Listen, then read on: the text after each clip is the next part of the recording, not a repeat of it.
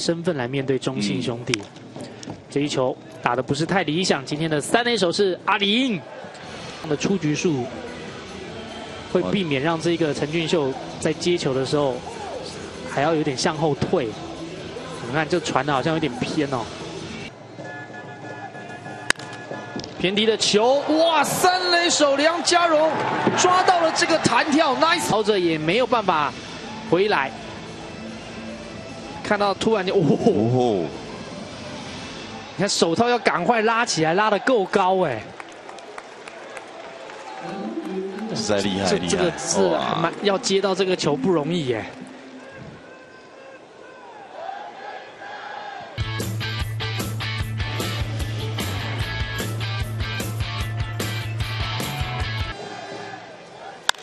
出棒打高了，内野上空的飞球是谁要接？梁家富下来，因为你还是要以球队的战绩为重。哇，这一球又是梁家荣，这球打的也是蛮强劲，弹跳也是蛮靠近守备员的，直接呢被他接住。啊，另外呢是被裁判接住，所以他今天周世奇记录上是没有安打。好，今天的地主球队啊，领先的情况下选出最佳表现。我想梁家荣这个是舍我其谁啊！哇，这是一个难度非常高的 nice play，这样感觉。嗯，好，想要用偷点的哇，这个可能是点出一支内野安打。第一场比赛，达米狗这边哦，我记得郭永伟也有一颗哦。嗯，我想这跟在推进也是一个问题。觉得直接打哦，那这样子是一个五四三，因为方克伟的速度，如果真的没有安打，还有还有一棒二棒哦，那结果选择让他自由发挥的情况下，又变五四三的双杀。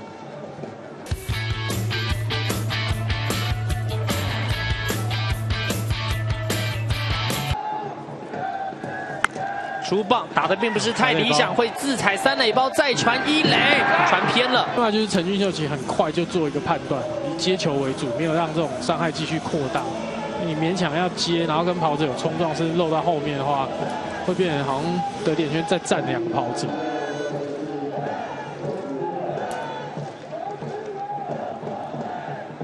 那下一棒轮到的是高国辉，再看一次，踩到垒包之后传一垒，传的是比较偏呐。压低的球路打得不理想，不过还是只能选择传一垒，来得及。哇，那这一局就又变成说，富邦如果没有掌握到的话，对史博来讲，第二次又是这种完成最低消费的话，哎，出棒了。但是三垒的滚地球接球之后，稳稳的传一垒，好，不过回来啊，哦，因为王振堂太积极了，打第一球是集中在前三棒。哦，被挤压到，又是梁家荣要赶快传了，一个半都接到了。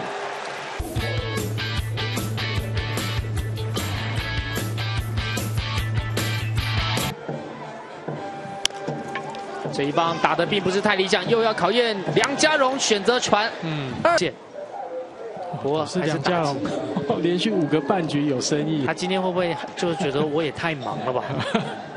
而且他的这种处理都是要趋前处理呀，啊，然后要抓速度，至少传垒对，至少有三颗哦。我们讲趋前处理是难在难后面的这个跑接传的连续动作，那需要比较多的一个身体的一个协调性平衡感。出棒又要考验梁家荣，又挡下来了，传一垒。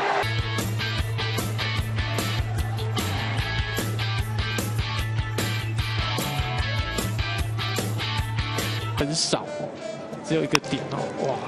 左出棒，拦得住吗？传二垒来不及，一二垒有人。嗯，这会有变数哦，因为王振堂这种，因因为在九份，你只要有去都可以学。就这一球又找到梁家荣，球队有攻守两端都有贡献。那这球当然是没有打好，但只是就是说这个难度就是，其实三垒手都必须要做一个正确的判断跟处理。嗯。那现在对于富邦来说，哇！结果又是梁家荣的美技，哇！气啊！我是我只是万磁王。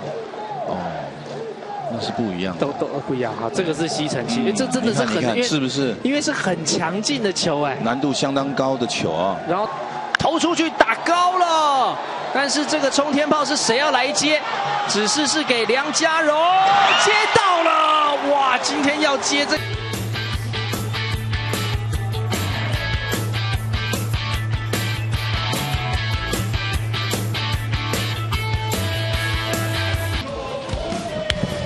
虽然呢比赛是平手啊，但要选今天的最佳表现，又是阿银。哇，真的是变成了这个系列赛本周的一个比赛，精彩每一季的长龙。球技的数据一定以当下，然后近况来看，哇啊！结果打的并不理想，直接被接到，哦压回去就有压回去了啦哈。至少要出局一个，两个都碰，反正要出局一个就对了啦。对，这个很轻，其实权力是他的。其实封走如如果要玩的话，那个二垒上三垒放过去再跑回去，是是是可以的，是是可以的是都可以的。你要看二垒有没有人回去补位哦，这个都是一些小细节啊。有，结果这一棒打出去，要考验的是梁家荣，好球到了传一垒，嗯结果就是发现捡都是同一周的。哦，好球哦！其实这个礼拜太多这种抢在前面的弹跳，然后行进间接传的这个。那这也是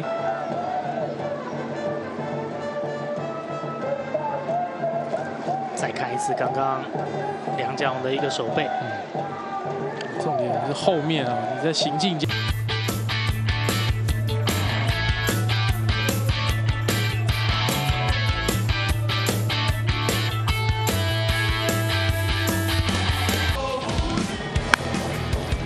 今天呢，球队领先啊，选最佳表现谁呢？恭喜阿迪娜！哇，这个本周啊，他的这个守备啊，不止一次啊，会被选成了今天的最好的一个守备美记。最近这 play again 不是